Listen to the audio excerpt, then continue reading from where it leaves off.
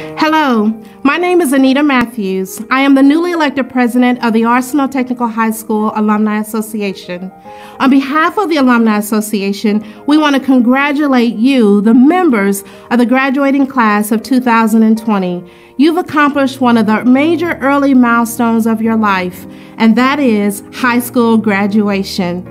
The mission of the Alumni Association is to institute, sponsor, and conduct scholarship programs and other charitable and educational programs and activities for the students and, yes, you, the graduates of Arsenal Technical High School. While in parallel, we strive very hard to preserve Tech's rich history and tradition of excellence and achievement. Do know that graduation is, is not an end goal in itself. It is instead a part of the larger journey of life. Life is a journey, and all accomplishments that you achieve during its course should be taken as starting points for further achievements. But no doubt, wherever you go or whatever you do, there will be challenges.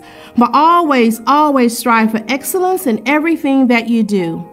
We encourage you to continue to push, to continue to pursue your dreams, to do all that you can to reach your full potential.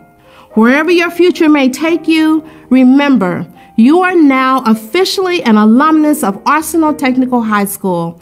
Please visit us on our website at athsalumniassociation.com or you can email your contact information to us also at athsalumniassociation at gmail.com.